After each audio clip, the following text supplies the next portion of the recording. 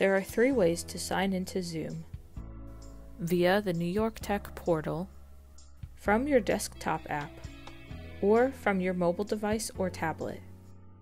In this video, we will show you the three options. To log in from the New York Tech portal, go to my.nyit.edu, click Sign In, and type in your New York Tech credentials. Click the menu at the top of your New York Tech portal and select Zoom. This will take you to the New York Tech Zoom page. Click Sign In, and then from here you can join a meeting, start a meeting, or schedule a meeting.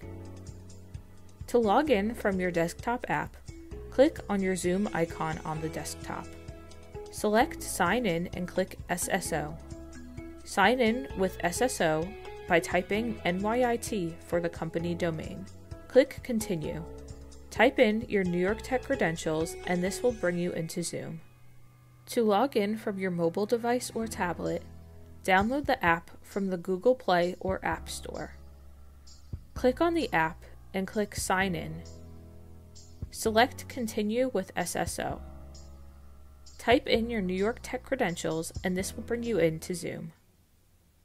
For more assistance, contact ITS.